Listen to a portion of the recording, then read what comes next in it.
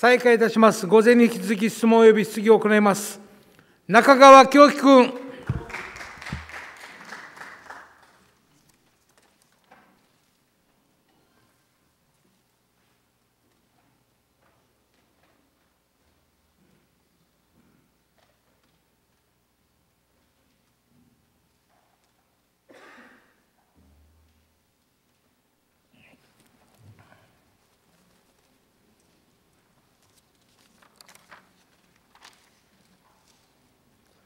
えー皆さん、こんにちは。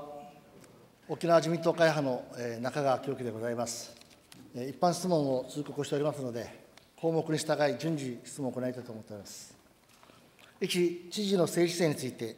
1、令和5年2月定例会における知事の所信表明は、県政運営における知事の基本方針を県民の代表である県議会に述べるほか、県民への知事が自ら政治姿勢を示すものか伺いたい。2、嘉手納基地、普天間基地における米軍機の騒音環境被害について、あ、嘉手納基地への外来機による騒音被害について伺う。い、三連橋、嘉手納町、北谷町、沖縄市による嘉手納基地騒音被害の要請について、県の対応を伺う。3、伊平屋空港建設について調査の進捗状況と、具体的な建設に向けた取り組みを伺う。4、伊平屋伊是名華僑の整備について、県はその必要性をどのように認識しているか、えー取り組みの現状を伺いたい。5、伊江島空港の利活用について、県の見解を伺いたい。6、沖縄県は全国的に観光推進地として知られている。沖縄の観光再興の取り組みは、全国的に注目されている。県内移動、県外誘客、水際対策を含め、今後、県は観光再興についてどのようなビジョンを描いているのか伺いたい。7、県は本県への観光客数増をハワイとの比較で評価しているが、観光客が滞在日数では大きな開きがあり、滞在日数の延伸の取り組みも効果を上げていない。数で比較するのではなく、質的な転換を図るべきだと思いますが、見解を伺いたい。8、玉城知事の2期目の公約である、給食費無償化の財源確保と実施時期について伺う。2、県内社会資本整備について、1、社会資本整備を進めるにあたって、県土有効利用と自然景観、保全の調を図りながら、鉄軌道を含め、陸上交通網体系を構築する必要があるが、現在、進捗状況と県の基本的な考えを伺いたい。那覇市、浦添市、西原町においては、モノレールや鉄軌道、LRT、次世代型路面電車のシステムの必要性について、2、大型埋施設の実現に向けた西原町へのモノレールを含む公共交通システムについて伺う。3、戦前、嘉手納町では、南部から嘉手納ロータリーまで京便鉄道路線がありました。第二次世界大戦時に鉄道膝橋も破壊されました。国道58号線の膝橋においては復元されましたが、えー京便鉄道においては復元されておりません。私は沖縄県の振興の一つとして、西回り、那覇市から浦添市、宜野湾市、北谷町、嘉手納町、読谷村、名護市と、そして東回りは南部から西原町、中城村、北中城村、沖縄市、名護市、北部まで1時間で着く鉄軌道を通すことが、将来の観光立県に向けた沖縄振興策になると、これまで一般質問、代表質問で取り上げてまいりましたが、県の見解を伺いたい。4、那覇港、中城港湾及び本部港等の機能強化を図る上で、それぞれの役割をどのように分散しているか、港湾総合物流の中核機能の位置づけについて伺いたい。5、西原町二級河川小発川改修工事の現状と課題、進捗状況、完成時期、総予算について、あ、これまでも幾度となく氾濫を繰り返した小発川が、周辺地域の住民に多大な損害を与えております。管理者として県の対応と責任について伺う。いい、これまで改修工事完了によって、氾濫は防げると以前説明を受けましたが、大幅な工事の遅れが地域にとっては被害拡大につながっているとするならば、県の見解を伺う。う河川改修工事において、人道橋の設置について、地域の声が反映されていないのはなぜか、小発川周辺が西原町の景観条例に制定されている。6、北谷町白日川、えー河川拡張工事の進捗状況及び時期、総予算について伺う。7、膝川の河川環境整備について、あ、膝川下流石の撤去について伺う。8、那覇軍港、那覇港湾施設の市街化について、あ、那覇軍港は復帰前、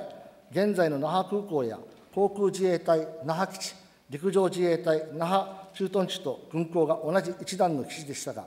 那覇空港や航空自衛隊那覇基地、陸上自衛隊那覇駐屯地は市街化調整区域で、那覇軍港だけ市街化区域、準工業地域と仮定している状態について、県の認識を伺いたい。い那覇軍港と市街化区域、準工業、えー、準工業地域指定によって固定資産税に影響した問題は、県が那覇市と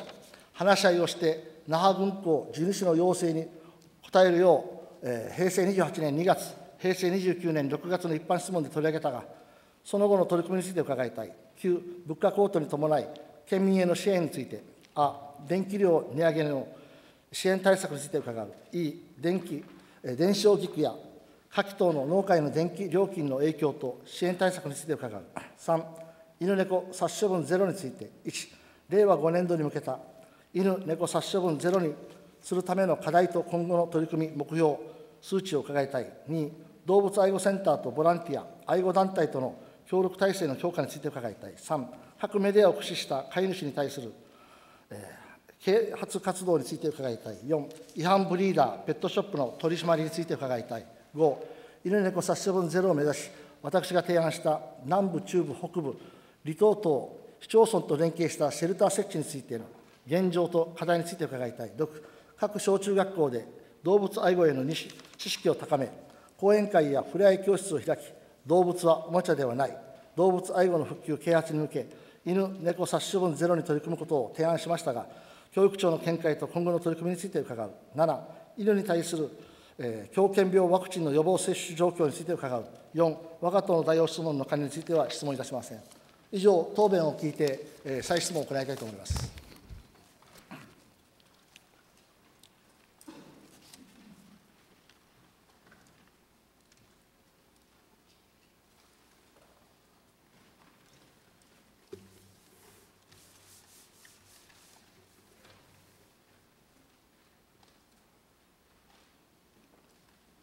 知事、玉城デニ君。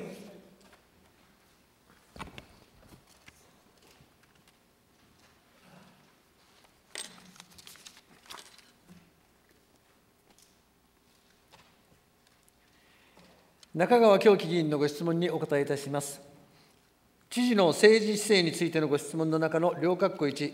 知事の所信表明についてお答えいたします。知事提案説明用紙は、県議会2月定例会の開会にあたり、次年度の当初予算案などの重要な議案の審議に先立ち、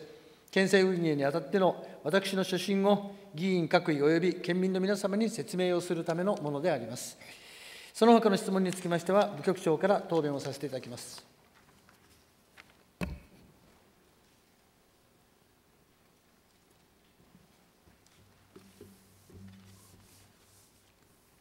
環境部長、金城勝君。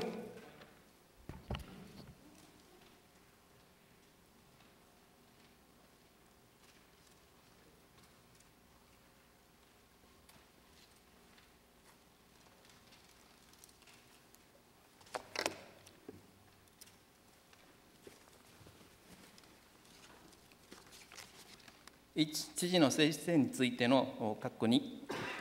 嘉手納基地への外来機による騒音被害についてお答えをいたします。嘉手納工場への F22 戦闘機及び F16 戦闘機暫定配備後の令和5年1月と両機種の暫定配備前の令和4年10月の騒音測定結果を比較したところ、オンライン測定局15地点中すべての地点で、期間中の騒音レベル及び騒音発生回数が増加しており、また最大騒音ピークレベルも砂部局で117.9デシベルが測定されるなど実地点で100デシベルを超える騒音が測定されております。また令和4年12月6日に6日に F22 戦闘機が普天間飛行場に飛来した際には上大蛇名局で113デシベ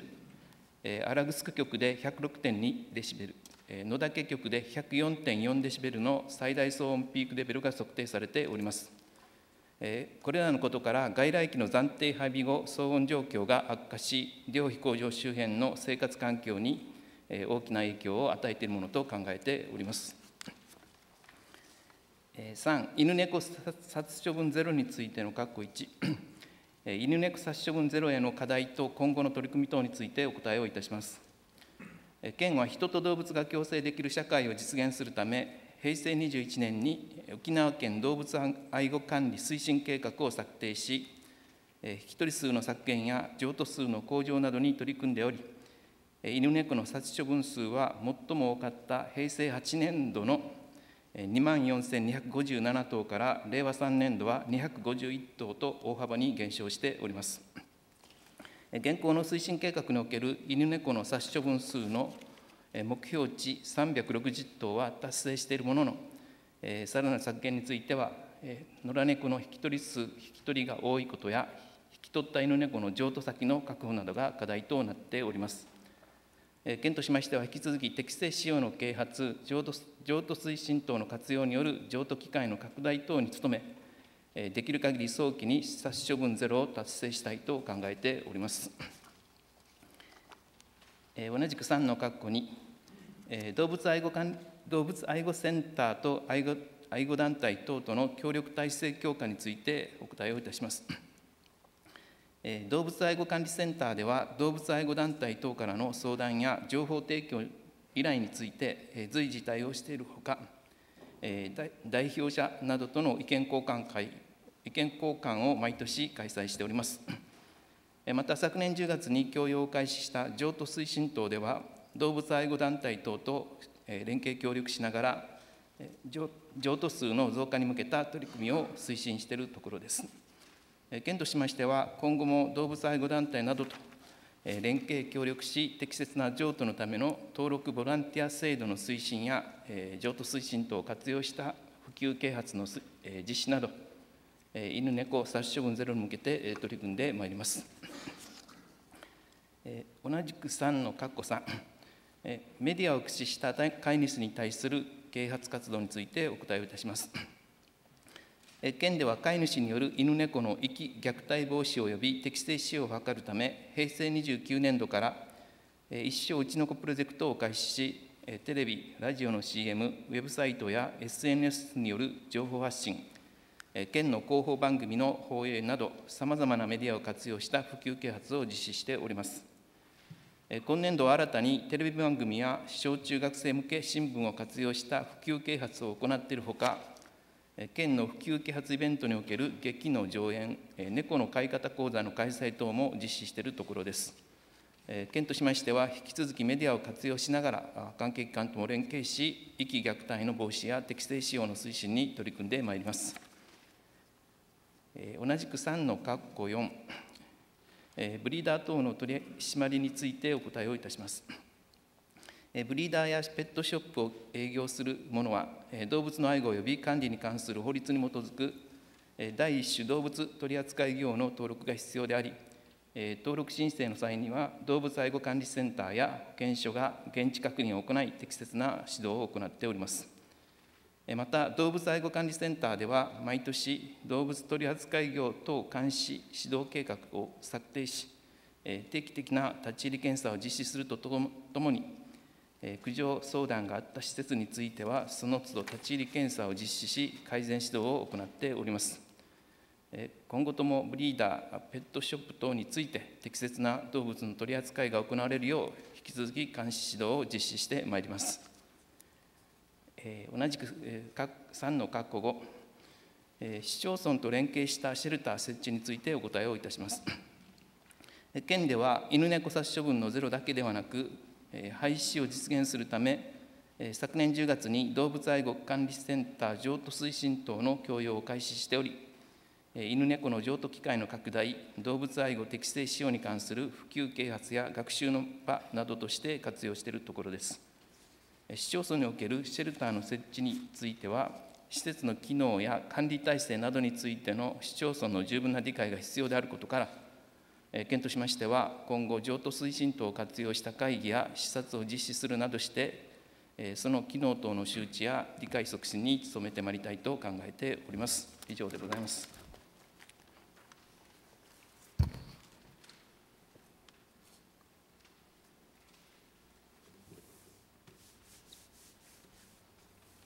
知事公市長、加賀昇君。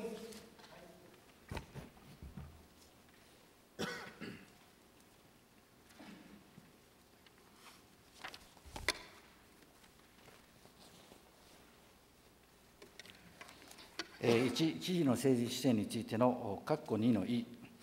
3連休の要請に対する県の対応についてお答えいたします。3連休によると、F15 戦闘機の退役に伴う F22 戦闘機等の暫定配備などにより、地元の騒音被害が増大していることについて、去る2月9日、在役米空軍及び日米両政府に対し、外来機の飛来制限など、周辺住民の生活環境に配慮した取り組みを行うよう強く要請したとのことです。嘉手納飛行場においては、F35B などの外来機が相次いで飛来しており、負担軽減と逆行する状況にあると言わざるを得ないことから、県としても F22 戦闘機等の暫定配備により、地元の負担がこれ以上増加することがあってはならないと考えております。引き続き、情報周知を行うとともに、3連休とも連携を図りつつ、適切に対応してまいります。以上でございます。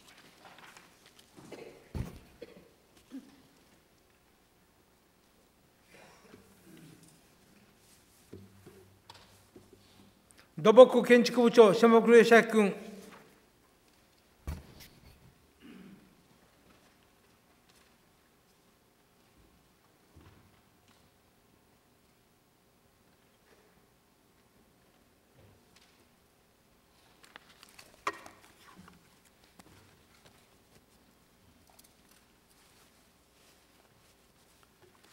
1、知事の政治姿勢について、括弧3、伊平屋空港整備事業についてお答えいたします。伊平屋空港については、就航見込みのある航空会社との意見交換や、需要予測などの確認検証、および関係機関との調整に取り組んでいるところであります。引き続き、移行取り付けや需要予測、費用対効果の確保など、事業化の課題解決に向け、伊平屋村、伊是名村と連携し、早期事業化に向け、取り組んでいきたいと考えております。同じく1の括弧4、伊平屋伊是名華僑の取り組み状況についてお答えいたします。伊平屋伊是名華僑の整備については、多くの課題が明らかとなっており、建設工事費の縮減等について、調査・研究に取り組んでおります。現在、建設工事費の精度向上を目的に、地質や強度を把握するため、伊平屋島側の海域において、土質ボーリング調査を実施しているところであります。令和5年度は、華僑検討一の推進を把握するため、新鮮測量を予定しており、また、現在実施中の土質ボーリング調査結果を踏まえ、今後の調査内容を検討したいと考えております。次に2、県内社会資本の整備について、括弧4、那覇港、中城湾港及び本部港の港湾物流の役割についてお答えいたします。新沖縄21世紀ビジョン基本計画において、那覇港は国際物流港湾として位置づけ、臨空臨港型産業の集積による国際物流拠点の形成を図ることとしております。また、中城湾港新港地区は産業支援港湾として位置づけ、バイオマス発電所稼働や飼料サイロ増設等による貨物量増加に対応するとともに、集積する製造業等の生産性を向上させる港湾機能の強化を図ることとしております。本部港については、北部圏域の物流を支える拠点港湾として位置づけ、港湾機能の強化を図ることとしております。今後も、県土の均衡ある発展に資するため、各港湾の適切な機能分担を図りつつ、港湾機能の強化に取り組んでまいります。同じく2の括弧5のあ、小発川氾濫に対する対する管理者としての対応等についてお答えいたします。小発川は平成15年度に事業を着手し、令和10年度完了予定で、全体事業費は約85億円となっております。整備延長 3.8km のうち、河口部から西原町役場付近までの約 1.7km が外製しており、その区間においての通水断面はおおむね確保されております。今後も西原町と連携を図りながら、浸水被害の軽減に向け、早期整備に取り組んでまいります。同じく2の括弧5の E、河川改修工事の進捗状況についてお答えいたします。小厚川河川改修について、河口から国道329号までの約900メートル区間については、用地取得が難航したものの、平成29年度に完了しております。国道から西原町役場までの約800メートル区間については、平成30年度から工事に着手しており、一部取り付け護岸を残すのみとなっております。県としては引き続き西原町と連携し、早期整備に取り組んでまいります。同じく2の括弧5のう、人道橋の改修についてお答えいたします。国道329号から西原町役場までの区間において、小発川を横断する人道橋は2橋あり、いずれも西原町が管理する施設であり、1橋はすでに整備を終えております。現在、西原町が残りの1橋を PC 橋として整備中であり、橋梁形式については、管理者である西原町において、経済性、施工性等を考慮し、適切に判断されたものと理解しております。同じく2の括弧6、白比川改修事業の進捗状況等についてお答えいたします。白比川は国道58号白比橋から上流の約 1km 区間において、平成13年度から事業に着手しており、令和8年度完了予定で、全体事業費は約29億円となっております。令和2年3月にキャンプ付け欄の一部土地が返還され、沖縄防衛局が土地の引き渡しに向けた土壌汚染調査や、あ土土壌調土壌汚染調査及び時期探査を行っておりますが、引き渡し前に承諾を得て河川工事に着手しているところであります。県としては引き続き、沖縄防衛局と協議を行い、早期整備に向けて取り組んでいきたいと考えております。同じく2の括弧8の A、那覇港湾施設を市街化区域で準工業地域としていることについてお答えいたします。那覇港湾施設については、那覇港に隣接しており、那覇空港にも近いことから、開発効果の高い産業振興用地であり、将来的な軍用地の返還も予定されていたこと予定されていたことを踏まえ、返還後、速やかな計画的土地利用を図る必要があるとの判断のもと、昭和49年8月に市街化区域に都市決定都市計画決定したものと理解しております。また、自衛隊基地については、防衛上の機能に大きな障害が生じる恐れのある防衛施設の区域として、市街化調整区域にしたものでものと理解しております。以上でございます。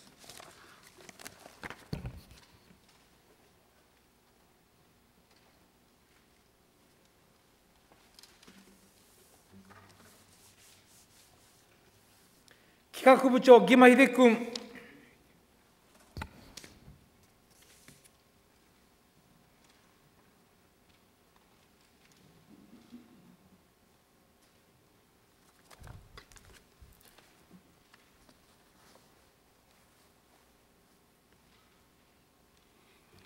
1、知事の政治姿勢についての確保後、伊江島空港の利活用についてお答えいたします。県では今年度、県内離島航空路線を運航する航空会社に対して、伊江島空港への就航可能性等についてアンケート調査を実施し、その結果、需要について課題がある等の意見を意見が示されたところです。また、イエソンにおいても、今年度、伊江島空港の利活用に関する調査事業を実施していると聞いております。県としましては、県のアンケート調査やイエソンの調査事業の結果を踏まえ、イエソンの意向等も確認しながら、伊江島空港の利活用等について、引き続き意見交換をしていきたいと考えております。続きまして、2、県内社会資本の整備についての括弧1、鉄軌道を含めた陸上交通網の構築についてお答えいたします。県では平成24年度に鉄軌道導入にかかる調査を開始して以降、構想段階の計画書策定や費用便益費の整地化等に取り組んでおり、国においても令和4年度からは、県が求める特例制度の調査、検討が行われるなど、着実に取り組みを進めているところです。また、鉄軌道等の都市間交通と並行して、LRT 等を含めた多様な都市内交通についても、検討を進め、公共交通の基幹軸とフィーダー交通が連携する利便性の高い公共交通ネットワークの構築に取り組んでまいります。同じく括弧の2、西原町への交通システム整備についてお答えいたします。県では、鉄軌道導入を前提としたフィーダー交通検討の観点から、平成30年度および令和3年度に、モノレール延伸の高画等について調査を行ったところです。この結果、この結果日原町を含む5つのルートすべてで、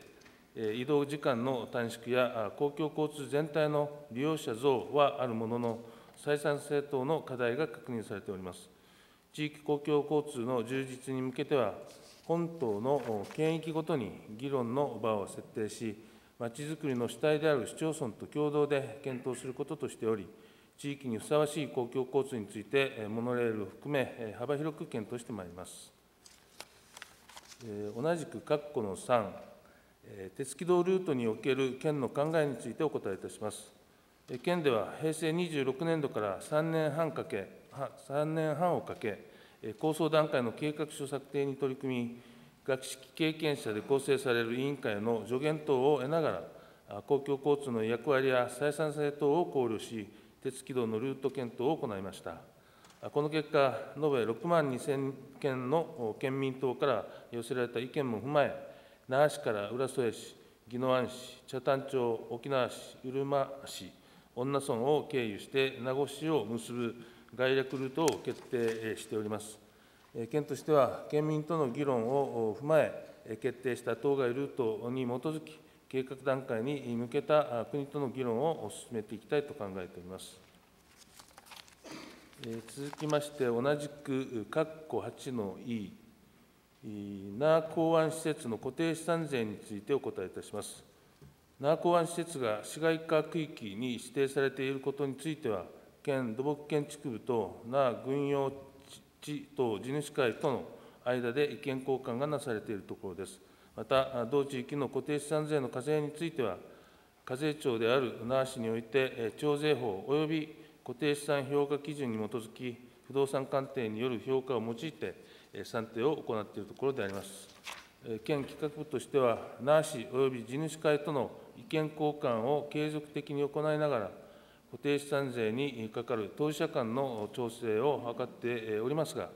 最終的には課税庁である那覇市において、丁寧な説明を行い、解決することが望ましいと考えております。以上でございます。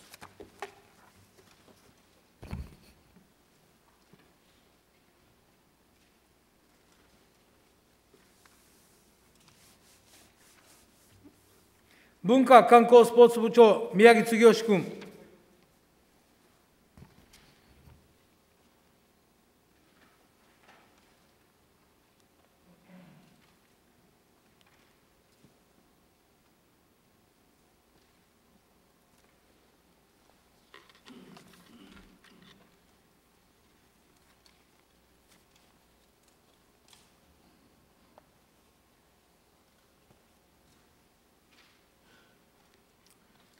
1、知事の政治姿勢についての括弧6、観光再興に向けたビジョンについてお答えします。現在、回復傾向にある入域観光客数について、沖縄への旅行需要を継続して取り組むため取り込むため、旅行者専用相談センタータコによる感染症対策を講じながら、国際航空路線のさらなる回復、国内外における積極的な誘客活動を展開してまいります。県では、世界から選ばれる持続可能な観光地の形成に向け、県民、観光客、観光事業者が自然、歴史、文化を尊重し、観光産業の成長と維持を目指すことで、それぞれの満足度を高めるとともに、経済を活性化させていくこととしております。このため、多彩かつ質の高い観光の推進、沖縄のソフトパワーを生かしたツーリズムの推進、観光人材の育成、確保などに取り組んでまいります。同じく1の括弧7、沖縄観光の質的な転換についてお答えします。令和4年7月に策定した第6次沖縄県観光振興基本計画では、目標値を観光収入及び民泊数に設定し、1人当たり消費額の向上と滞在日数の延伸に取り組み、観光の質の向上を図っていくこととしております。このため、消費者視点に基づいたブランド戦略や多様な市場に対応した効果的な誘客活動の展開、自然、歴史、文化など、沖縄のソフトパワーを生かしたツーリズムの推進、県内周遊や着地型観光と質の高いクルーズ観光体験の推進などの施策を展開してまいります。以上でございます。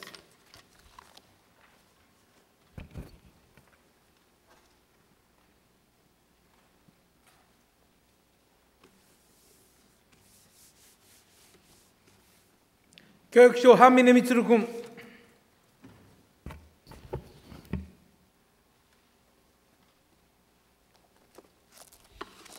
1、知事の政治姿勢についての中の各8、給食費の無償化の財源確保と実施時期についてお答えいたします。去る2月9日に、玉城知事から文部科学省に対して、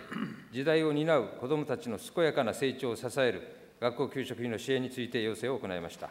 その趣旨は、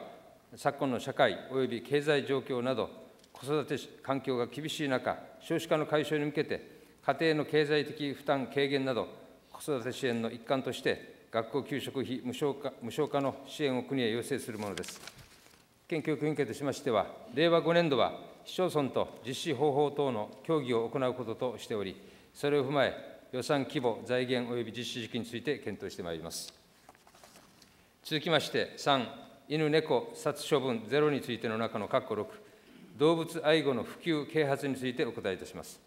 学校教育において、動物愛護の普及・啓発の視点を取り入れることは、生命尊重の心を育てる観点からも大切なことであると考えております。県内の小中学校では、校内で動物等を飼育することにより、動物と触れ合ったり、総合的な学習の時間及び道徳の時間において、外部講師を活用するなど、動物愛護について学習しております。県教育委員会では、今後とも関係部局等と連携し、学校教育活動を通して、命の大切さや思いやりの心を育む教育を推進していきたいと考えております。以上でございます。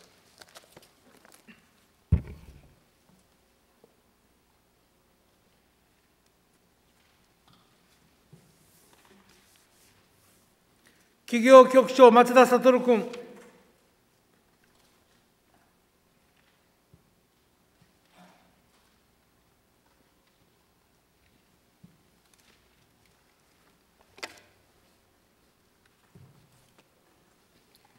2、県内社会資本の整備についての括弧7、膝川下流堰の撤去についてお答えします。永田川取水ポンプ場の取水堰として、昭和36年に建設された膝川下流堰は、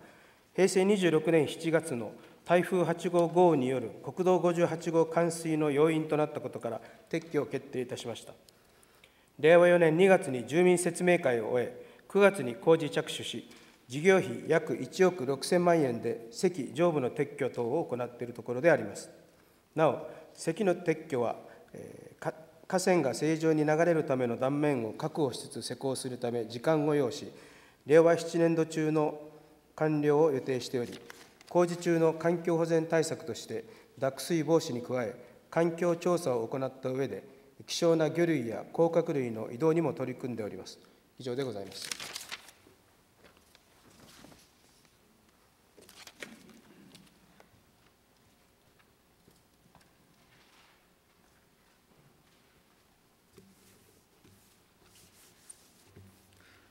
商工労働部長、松永京君。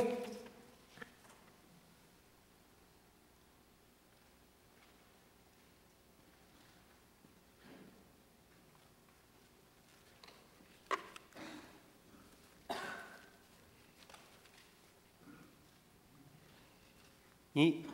県内社会資本の整備についての括弧9のあ、電気料金値上げへの支援対策についてお答えします。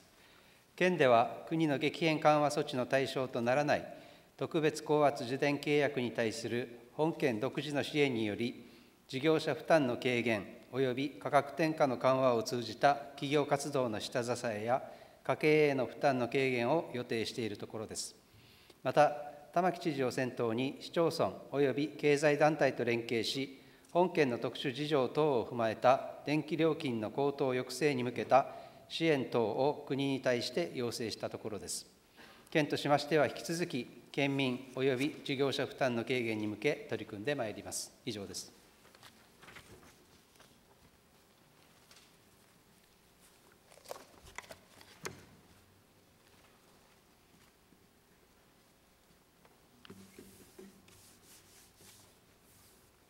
農林水産部長、崎原森光君。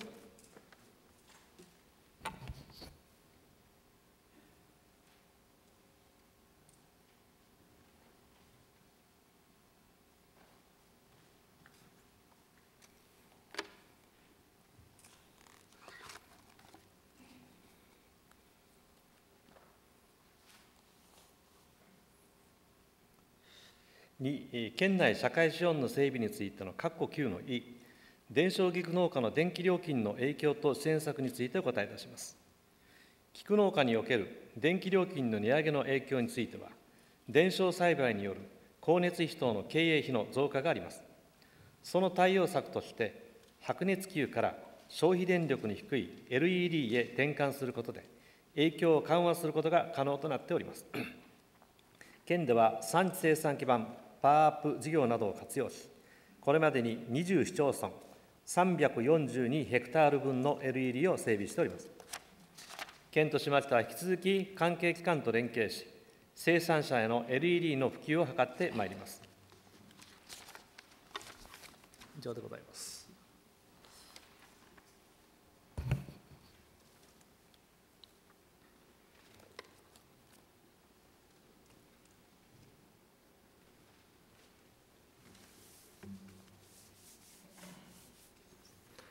保健医療部長、糸数徹君。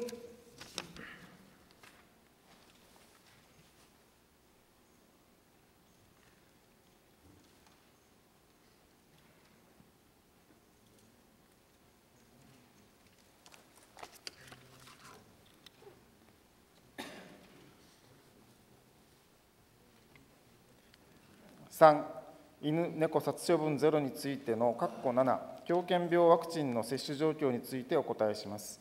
県の狂犬病予防注射率は、新型コロナ感染拡大に伴い、集団接種が行え行えていない市町村もあり、令和3年度は49.0%となっております。WHO の勧告では、狂犬病のまん延防止には、犬の予防注射率が70%以上必要とされておりますが、県内41市町村のうち30市町村はこれに満たない状況です。県としましては、市町村及び獣医師会と毎年会議を開催する等連携を図っており、駐車率の向上のため、大型店舗へのポスター掲示や企画展示等、啓発強化に取り組んでいるところであります。以上でございます。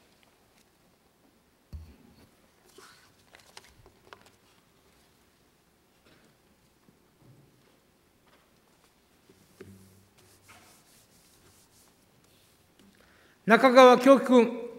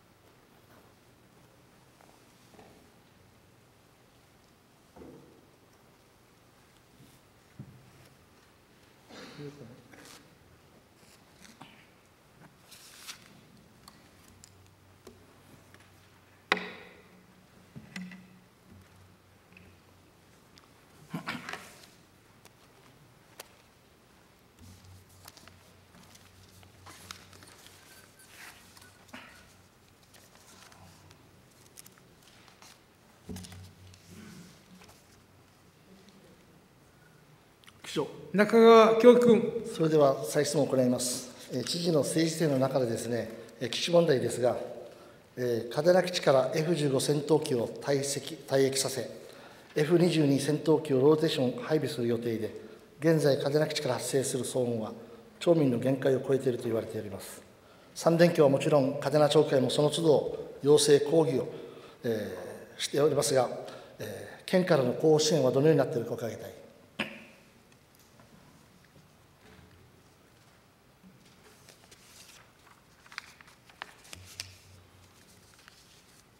知事皇室長、加賀昇君。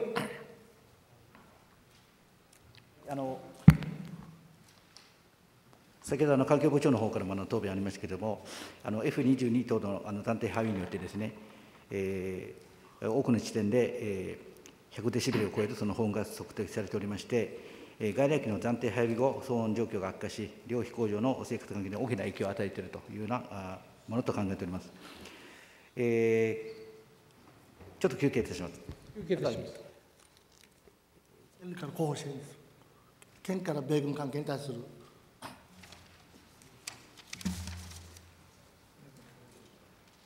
これ、えーこれ直でやってないな。はい。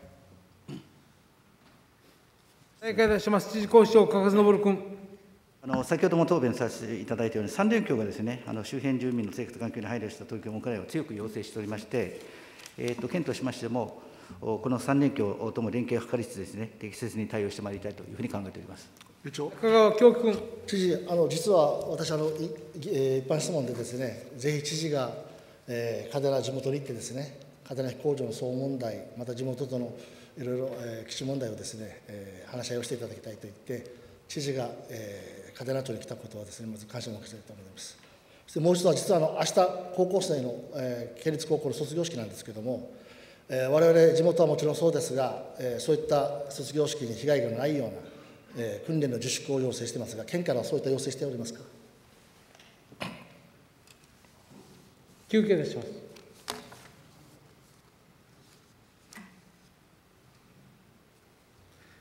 再開いたします。教育長、半峰光君。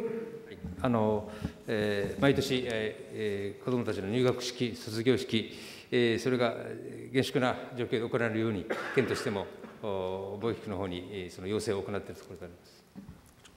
中川教育君。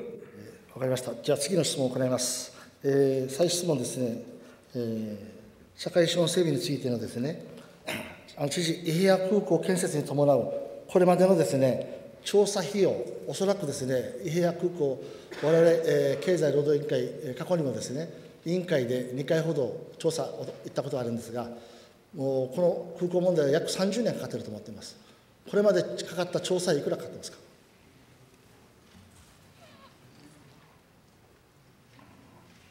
土木建築部長、島袋義明君。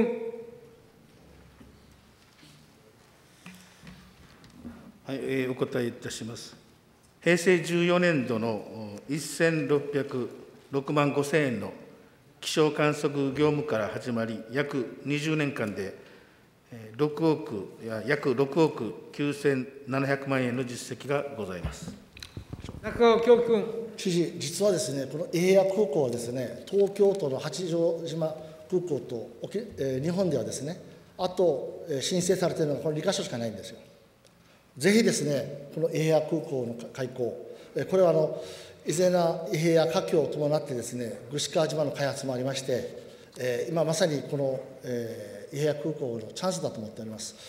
えーぜひ知事が、えーそこ、現場行ってですね、えー地域の、えー村民、えー議員の声を聞いていただきたいと思いますが、知事いかがでしょうか？知事、玉城デニー君。はい、あの私あの、知事就任の、えー翌年だったと思いますが、えー、伊平井ゼナ両村あの伺いまして、え農業基盤の整備、それから、え空港、華僑についての地域の方々のご要望を、ご要請を、えー承りました。まあ、先ほども部長から答弁ありましたが、あの需要予測、費用対効果の確保、事業化の課題解決に向けて、えー、伊平屋、伊是名両村とお早期の事業化に向けて現在、えそのお課題のお解消に向けた取り組みを進めさせていただいております。部長。中川教育君。えー次、え江島空港の利活用について再質問したいんですが、先ほど、えー、義馬企画部長がですね、イエソンに、イエソン独自で実施調査をしているという説明がありましたけれども、我々委員会で伊江島行った時ですね、本来だったら、えー、伊江島村と県と国と三者協議会をしたいんだと、それがなかなか実現してないと、確かもう5、6年前からですね、提案されていますが、三者協議会で実現できないのはどういうことですか？知事公視長、加賀昇君。はい、えー、お答えいたします。えーと、県としては、家島補助飛行場訓練区域のその制限緩和に向けて、えー、議員ご指摘のこの国県村の関係者での意見交換が必要というふうに考えておりまして、実はあの平成30年4月に、イエソンに3社での意見交換の開催に向け、日程調整を依頼しております。で、同年5月にイエソンからそのチャーター便の増加や定期便の就航に関する調査・調整、米軍への要望内容の具体化を行いたいと考えておりまして、状況が整い次第、村から連絡するので、それまで意見交換の開催を待ってほしいというあの回答がございました。でその後、えー、我々の方もその適宜、イエスの方に状況を確認しておりますが、まだ検討中ということですので、改めてまた確認をしてですね、えー、開催できるのであれば、開催に向けて検討してまいりたいというふうに考えております中川京樹君。あの玉城知事、えー、家島はですね、玉城知事のふるさとであると思っていますが、えー、最近、家島に行ったことはいつありますか？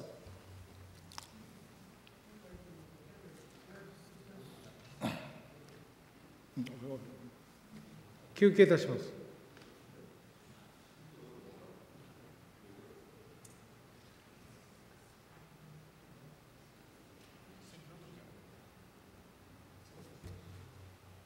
再開いたします。知事、玉城デニ君。えー、たびたびプライベートでもあの家島行っておりますが、あの一番最近、えー、家島に行ったのは、えー、前の島袋村長の葬儀の時ではなかったかと記憶しております。中川京君。あの知事、あの実はあのやっぱり、えー、イエソンの言い分と県の言い分もいろいろあると思いますが、えー、年内にですね、もう知事の日程作ってですね、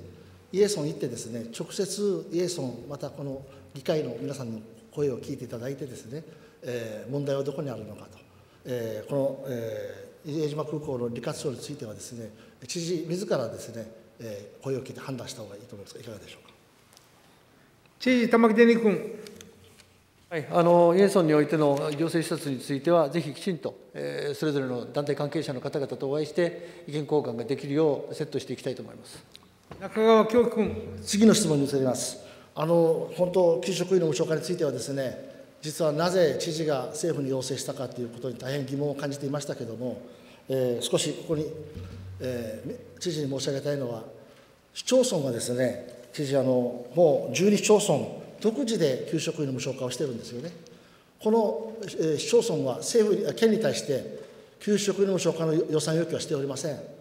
自らのですね、市町村で知恵を出し合って財源を確保してですね、そして、え議会の了解を取りながら給食費の無償化をしてますが、知事が政府に要請をして、もし政府がそれにノーと言ったら知事どうするんですか、その予算化をどういう予算を作るのかお伺いしたい。休憩いたします。再開いたします。教育省、半峰光君。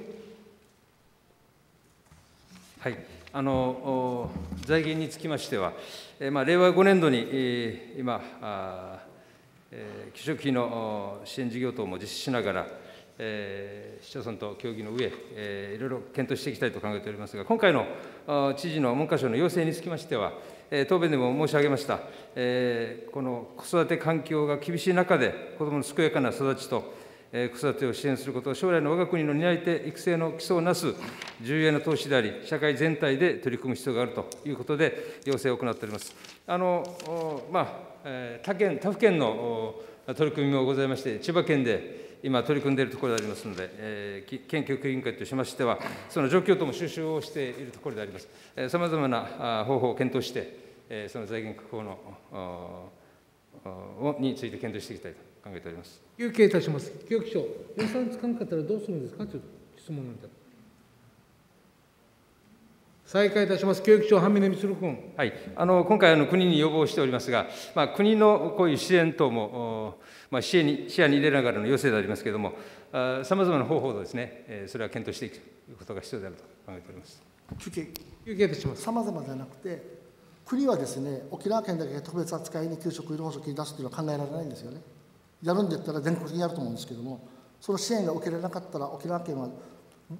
あの単独でね、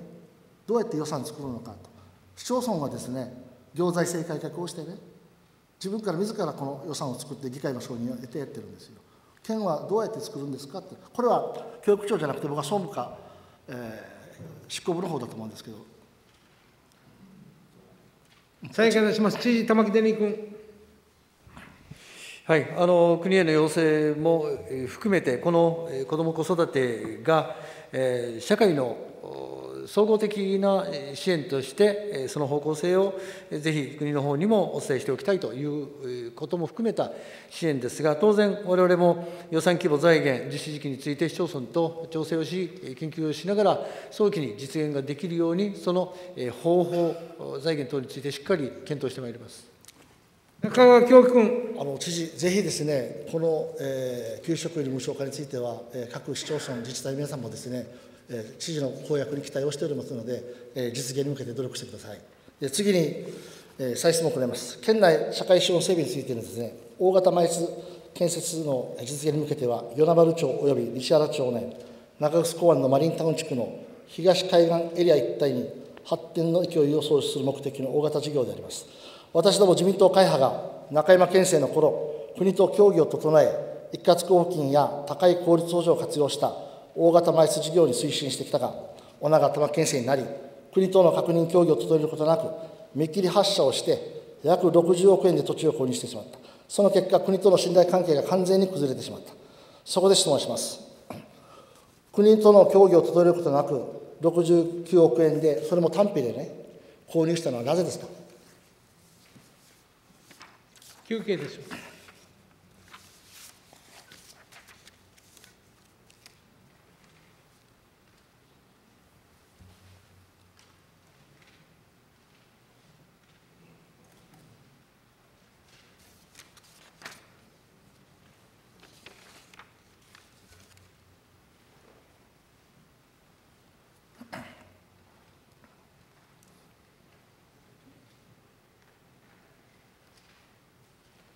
再開いたします。文化観光スポーツ部長、宮城次義君。はい、えー、当時の計画では、えー、枚数施設の、えー、をですね、えー、沖縄振興特別推進交付金を活用して整備するという前提で、でえー、これまでの調整で活用見込みがあるという、えー、ことでですね、えー、一般財源で土地を購入したという経緯がございます。中川京君。知事、この枚数施設についてはですね、多くの地域の期待がございます。マイスを作る前にまずモノレールのですね。延長やまた二次交通としての西原町のマリーナを活用したこの高速船とかですね。これをセットにした形でやらなければ私はあのうまくいかないと思っています、えー、ぜひですね大型マイ施設については立ち止まって国の支援を受けるべきであり PFI 方式や県の単独事業では、え、間違いなく県民に不利益が予測されると思っております。これはもう提案して、提案して、えー、次の質問に移ります。休憩いたします。休憩いたします。はい、お願いします。再開いたします。中川京樹君。次はあの北谷町白井川の拡張工事について質問いたします。知事、これはですね、見てください。北谷町のね、えー、町議団が私の方にですね、えー、戦後50年も白井川の改修工事ができないと。できない理由はですね、こっち米軍基地があるからなんですよ、倉庫軍が。元の刑務所だったそうですよ。私は平成24年4月、えー、そしてこれまで何回かですね、一般質問を取り上げました。50年も地域住民が被害に苦しめられていると、何度も北谷町や米関係で、えー、取り上げたければできない。えー、しかしながらですね、そこに中山県政の頃中山知事が現場に行ってですね、ちょっと休憩お願いします。休憩いたします。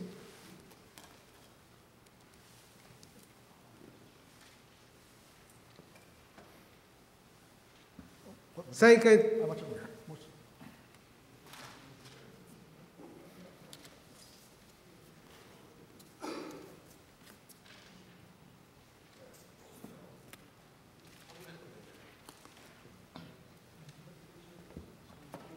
はい、お願いします。再開いたします。中川京君。中山知事がですね、現場に行って土木関係者、また、えー、いろんな関係者も来て、まあ、マスコミも来てましたよ。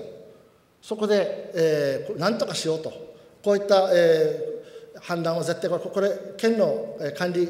河川でありますので、そこでこれが動き出したんです。そして休憩お願いします。休憩いたします。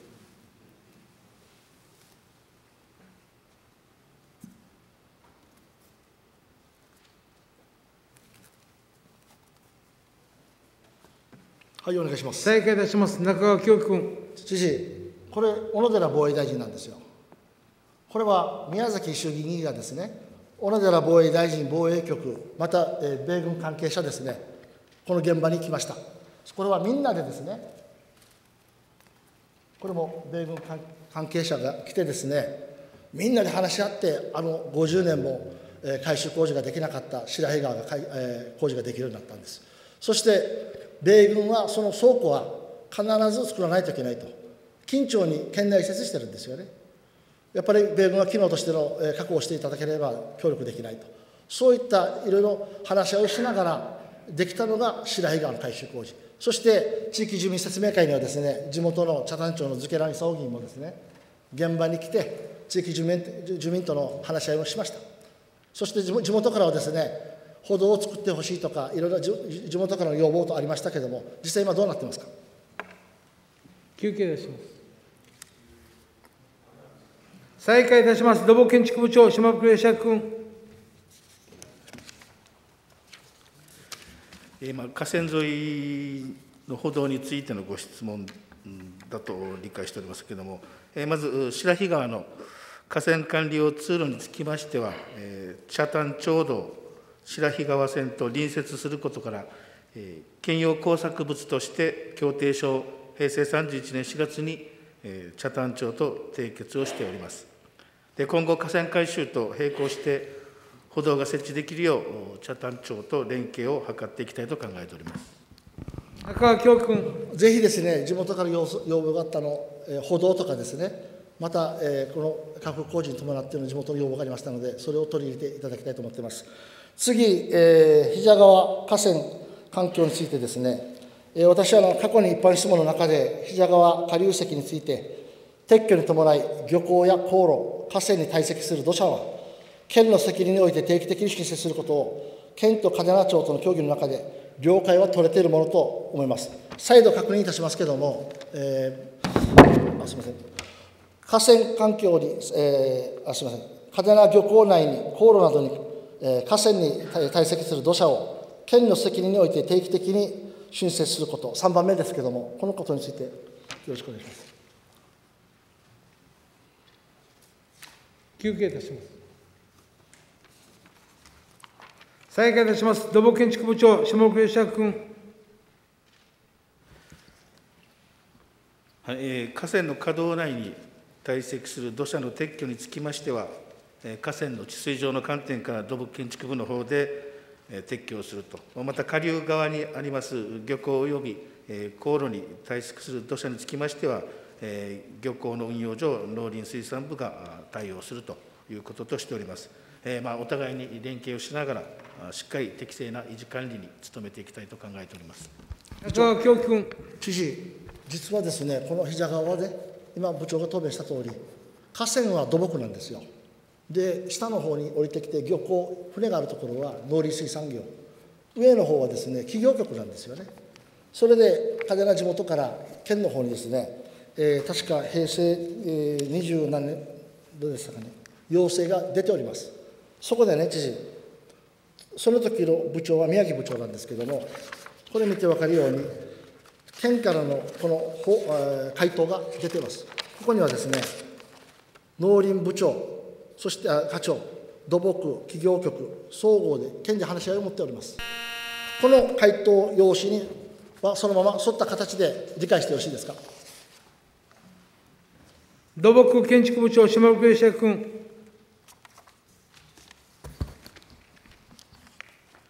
今、えー、議員からお話のありました、比謝川下流石撤去に伴う要請についての平成29年3月29日付の回答書。については承知をしてございます。引き続き、この回答書に基づき、しっかりと対応していきたいと考えております。休憩いたします。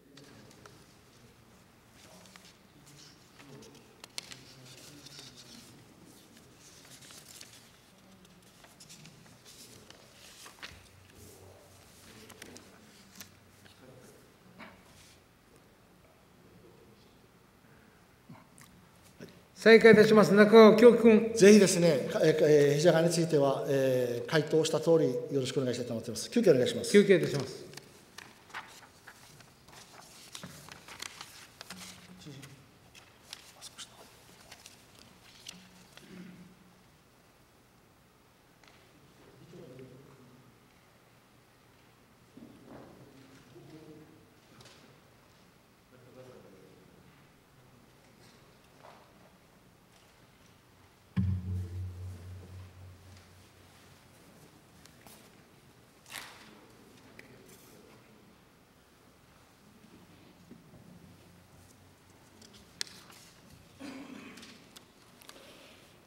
願いします。再開いたします。中川京君。えー、那覇軍用知事司会の再質問を行います。えー、那覇軍港は市街化とされたために、課税当初から平成17年、一段の土地であるにもかかわらず、陸自、空自、空港、3施設より約4倍も固定資産税が高く、平成17年と比較すると、3施設が100坪当たり1万7000円に対し、那覇軍港は6万2000円と、3.6倍も固定資産税が高くなっております。那覇軍港の平成18年の100坪あたりの適正な、えー、税額は2万5000円であると、えー、当時の小長市長は不動産鑑定評価を導入し、税額7万5000円と約3倍も高くなっています。直近の令和2年度に関しては、100坪あたり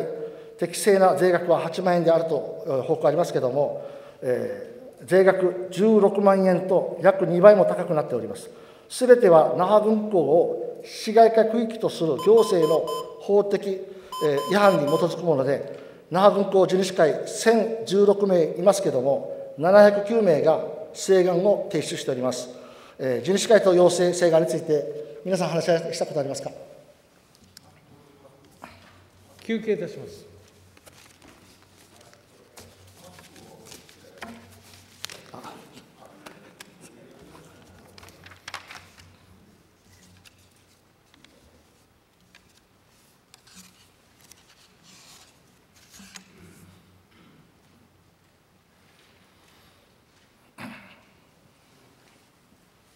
再開いたします。土木建築部長、島袋義明君。えー、那覇軍用地主会の皆様とは、平成28年から意見交換を続けていている続けているところでございます。えー、引き続き、えー、丁寧に説明をしながら、理解を求めていきたいと考えております中川京君。沖縄県で那覇軍港以外で、私は基地の中は全部市街化調整区域だと理解しておりますが、那覇軍港以外で、市街化区域に指定されているところありますか？休憩いたします。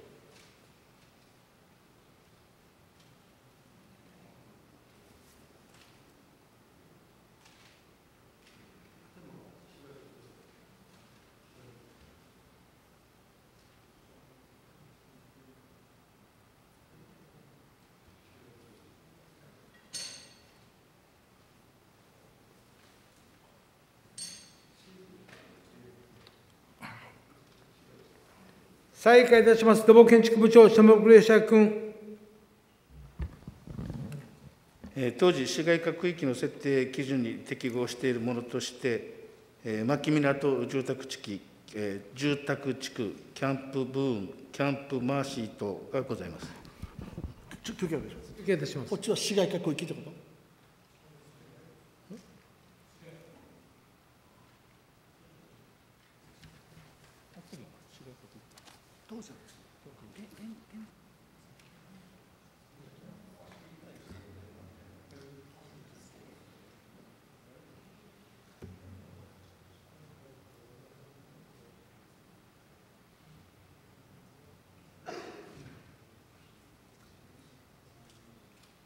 土木建築部長席。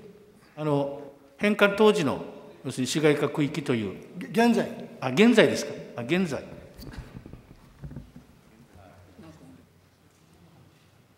再開いたします。土木建築部長、島袋釈君。え大変失礼いたします。先ほどのは返還当時でございまして、現在は那覇軍港のみでございます。中川京君。知事、実は50年前ね、那覇新都心とか、また那覇の一部はですね、もう開放開放できるということで市街化区域になったんですよ。那覇軍港の地主は自分たちの土地が市街化になっていることも知らなかった。またその説明会にも参加していないそうですよ。でそれでね先ほど資料を渡しました沖縄防衛局に問い合わせました。これ平成29年3月ですね。防衛局はですね基地の中は市街化調整区域であって地主が勝手に物を使うことできない。だから市街化はなじまないと。防衛防衛局長からの文書これですね。これ皆さん確認してみてください。これそそれはですねあえて言いますけど皆さんね地元から農地を市街化にしていただきたいという時はできないのに基地の中勝手に市街化できるんですか？休憩いたします。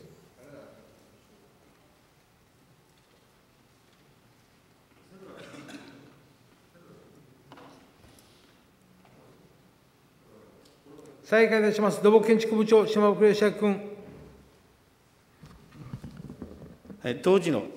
都市計画手続きの際に、昭和48年8月6日付で那覇防衛施設局宛て、都市計画案の意見紹介を行い、昭和48年8月17日付で回答がございました。その回答の中では、えー、那覇港湾施設を市街化調整区域に変更する要請はなかったと理解しております。したがって県としては、国への紹介を行った上で、適正な都市計画手続きを経て、市街化区域に設定されたものと理解をしております中川教君。知事、まあ、ちょっと読み上げます。那覇港湾、これ防衛防衛局の回答ですね。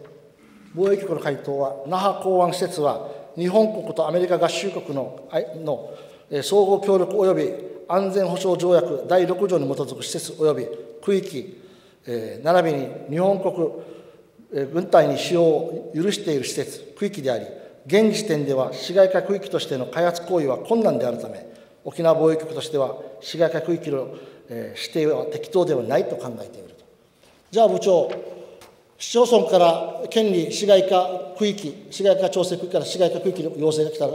外しますか？休憩いたします。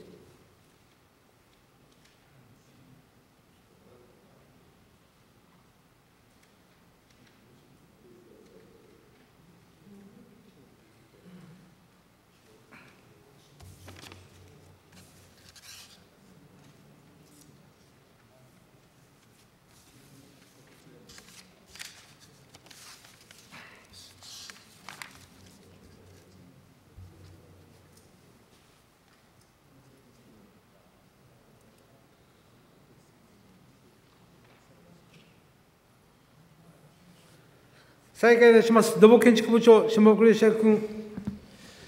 今現在、那覇港湾施設の地権者で構成されております軍用地主会と、えー、継続して意見交換を行っておりますけれども、えー、県に対してえ、そのような市街化調整区域に設定するというような要望は出されていないと承知しております。県としましては、まちづくりの主体である那覇市の移行や返還に向けた動向も踏まえて議論する必要があると考えております。高川君。知事、地主会はですね、この1016名のうち700名はね、50年前に県に貸しがあると言ってるんですよ。でね、知事、知事、この代表のね、2、3名いますけども、役員が、ぜひ知事、一度会っていただけませんか？休憩いたします。再開します。知事、玉城デニー君。はい、あのこのような社会的な状況の経緯について、えー、地主会と部局において、まず丁寧なあの話し合いをさせていただき、あの折を見て、私もまた地主の会の皆さんとお会いして、ご意見を伺えればと思います。高川教君。ぜひ知事あの、よろしくお願いしたいと思っています。やっぱりこの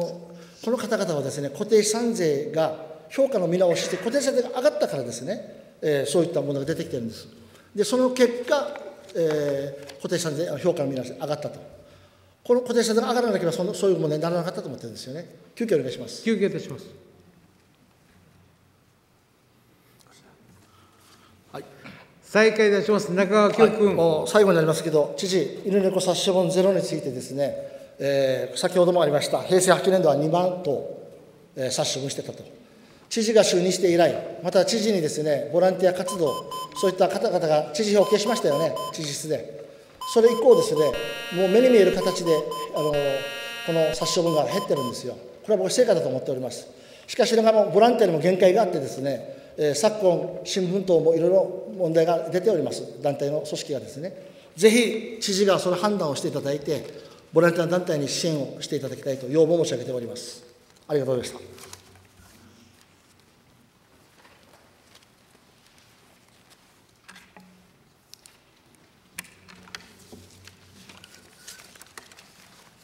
休憩いたします。